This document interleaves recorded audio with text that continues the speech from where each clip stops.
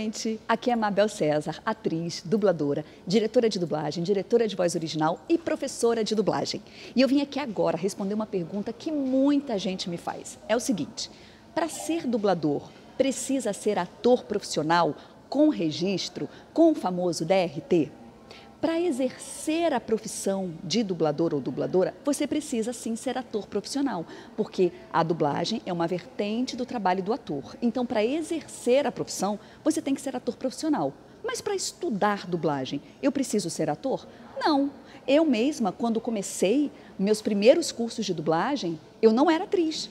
Eu primeiro, fi, primeiro eu fiz curso de dublagem, uns três, depois eu fui fazer coisas para virar atriz e depois eu virei atriz e continuei a fazer curso de dublagem. Eu não parei, eu fui fazendo um em seguida do outro para poder me especializar bem. Então assim, se você quer estudar dublagem e ainda não era, não, ainda não é ator, tudo certo. Você pode ir estudando e depois você vira ator e depois você tira o seu DRT e continua estudando dublagem. Fui clara? Então é isso. Um beijo e até a próxima.